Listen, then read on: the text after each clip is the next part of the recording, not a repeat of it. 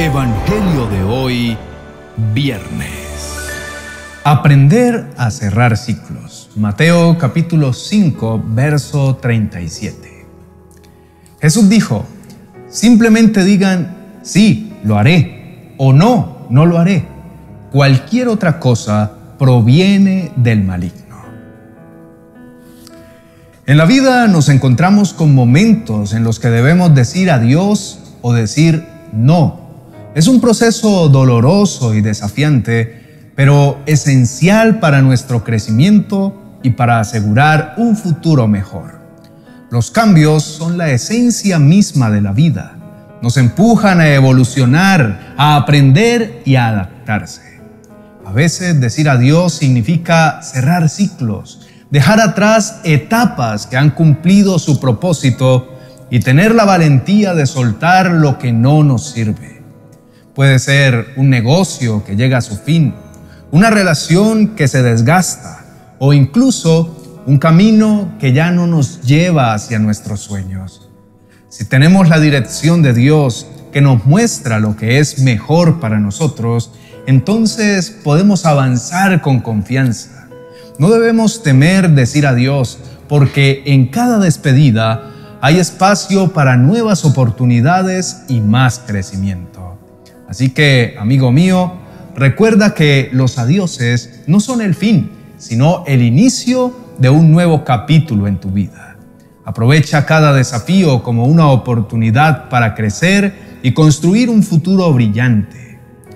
La historia de Jacob y su hermano Esaú es un ejemplo clásico de cómo las decisiones impulsivas afectan profundamente nuestras vidas. Jacob obtuvo la bendición de Esaú a cambio de un plato de lentejas, lo que desencadenó una serie de eventos y conflictos. Este relato resalta cómo las elecciones que hacemos en el momento tienen consecuencias duraderas. La historia de Jacob y Esaú, así como la relación de Jacob con su tío Labán, nos ofrece valiosas lecciones sobre el dolor, el engaño, el perdón y la confrontación. El dolor que Esaú sintió por el engaño de su hermano es comprensible. Las heridas profundas que provienen del engaño y la traición cargan los corazones de odio y resentimiento. Sin embargo, en lugar de confrontar el problema, Jacob eligió huir. Esta huida simboliza cómo a veces evitamos enfrentar las consecuencias de nuestras acciones, buscando refugio en la distancia y el tiempo. Pero sabes, el tiempo no soluciona lo que no confrontamos. Reflexión. Meditemos un poco en la escritura de nuestro Evangelio de hoy, de Mateo capítulo 5. Es parte del famoso Sermón del Monte, en el que Jesús expone enseñanzas claves sobre la moral, la ética y la vida en el reino de Dios. Nuestro sí sea sí y nuestro no sea no. Jesús enseña sobre el juramento y la veracidad. En ese momento, la cultura judía de la época estaba plagada de juramentos y promesas solemnes que a menudo se rompían o se manipulaban. Las personas hacían juramentos para respaldar sus afirmaciones y promesas, pero a menudo usaban trucos o excusas para evitar cumplirlos, y Jesús estaba abordando esta falta de integridad. En este contexto, Jesús enseña sobre la importancia de la honestidad y la claridad de nuestras palabras y acciones. Él estaba diciendo que no deberíamos necesitar hacer juramentos solemnes para respaldar nuestras afirmaciones. En cambio, nuestras palabras deberían ser tan confiables y directas que simplemente decir sí o no. Esto debe ser suficiente para que los demás confíen en lo que decimos sin dejarnos llevar por el engaño para salir del paso. Jacob engañó a su hermano y a su vez también experimentó el engaño en manos de su tío Labán. Esto resalta el principio de que lo que se siembra se cosecha. Las acciones de engaño de Jacob en el pasado encontraron su reflejo en las acciones engañosas de Labán hacia él en el futuro. Es bueno actuar con integridad y consideración hacia los demás. Jacob salió a escondidas de la casa de su suegro. La huida secreta de Jacob revela cómo el miedo nubló su juicio y lo llevó a tomar decisiones impulsivas. Así dice la escritura. Jacob fue más listo que Labán el arameo, porque salieron en secreto y nunca le dijeron que se iban. Huir sin confrontar a su suegro por sus engaños fue una necedad. Él reconoce que lo hizo por una razón diciendo, me apresuré a irme porque tuve miedo. Pensé que me quitarías a tus hijas por la fuerza. Definitivamente el miedo no nos deja actuar en forma clara y transparente. La confrontación, aunque a veces dolorosa, es el primer paso hacia la sanidad y la reconciliación.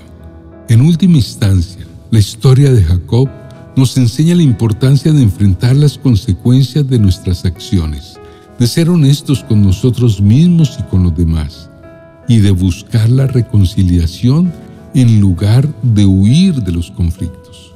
Oración final. El perdón y la gracia desempeñan un papel fundamental en la restauración de relaciones rotas. Seamos radicales en nuestras decisiones y cerremos ciclos sin resistirnos para no dejar asuntos sin resolver. Inclina tu rostro y oremos juntos. Amado Padre Celestial, confieso que a veces me falta la confianza en mis propias decisiones. La duda se apodera de mí y postergo lo que sé que debo hacer. He cedido ante las expectativas de los demás en lugar de seguir mis propias convicciones lo que me ha llevado a quedarme en situaciones que ya no me benefician y que en última instancia me han mantenido estancado. Dejar ir ha sido un proceso doloroso por los apegos y lazos emocionales que se han tejido con el tiempo. Reconozco mis debilidades y deseo crecer en mi vida y en mis relaciones. Te pido que me ayudes a vencer el miedo que a menudo me paraliza y afrontar con valentía las cosas que están pendientes en mi vida. Ayúdame, Señor, a cerrar los ciclos de manera adecuada para que no tenga que dejar asuntos pendientes sin resolver ni decisiones sin tomar. Comprendo que la ambigüedad y la evasión solo generan confusión y dolor en mí y en los demás. Permíteme, Señor, aprender a ser claro en mis palabras a decir sí o no, según sea necesario, sin temor a las consecuencias. Padre, reconozco que mi debilidad radica en mi deseo de que todo termine de manera feliz. A veces evitando la confrontación y hablando de manera disfrazada para ocultar la realidad. Te ruego que me ayudes a decir adiós a tiempo, cuando sea necesario, enfrentando las situaciones con valentía y compasión. Dame la sabiduría para comunicar lo que siento de manera asertiva, con gracia y honestidad, para que mis palabras reflejen mi sinceridad y mi respeto. Mis decisiones tienen un costo y estoy dispuesto a asumirlas con responsabilidad. Gracias por escuchar mis palabras y por guiarme en mi camino hacia una vida más auténtica y llena de amor. En el nombre de Jesús. Amén y amén. Queridos hermanos y amigos, tengan la valentía de soltar lo que ya no les sirve en la vida. Los ciclos se cierran y necesitan liberarse de lo viejo para dar paso a lo nuevo y maravilloso que Dios tiene preparado para ustedes. No se aferren a nada que les pese o les impida avanzar. Confíen en que Dios está guiando sus vidas y lo llevará por el camino correcto. No teman enfrentar las personas y, y, ser claros en lo que tienen que decir.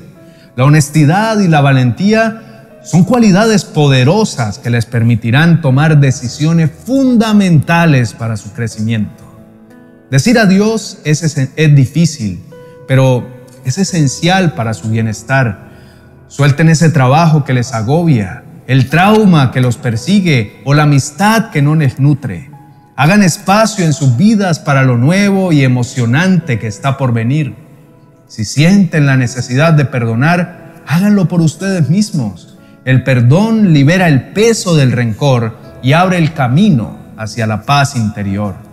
Cuando hacen su parte, Dios los respalda y les brinda nuevas oportunidades. Tengan fe en que algo maravilloso está en camino. Mantengan sus corazones abiertos y sus mentes dispuestas a recibir lo que el cielo les tiene reservado. Para finalizar, agradecemos sus comentarios, la interacción que hacen en las redes sociales y su participación activa. Todo esto hace la diferencia en nuestro ministerio. Cada vez que comparten un mensaje, dan like a un vídeo o simplemente nos animan con sus palabras, contribuyen a difundir el amor de Dios. Avancen con valentía en el proceso de soltar y decir adiós. Aunque es complejo, la recompensa es un futuro lleno de esperanza y posibilidades infinitas. Bendiciones. Ya está listo tu devocional para el 2024 una guía espiritual y práctica que te acompañará todos los días de este año. 366 devocionales para edificar tu vida y tu hogar en las manos de Dios. Cada uno de estos devocionales incluye una reflexión, una oración y una frase aplicable a la vida cotidiana y ofrece una estructura sólida para el crecimiento personal y espiritual a lo largo del año. Cada devocional cuenta con un código QR que al escanearlo con tu celular te llevará a enseñanzas más extensas sobre el tema del día en uno de mis canales de YouTube. Adquiérelo en mi biblioteca virtual de amazon.com.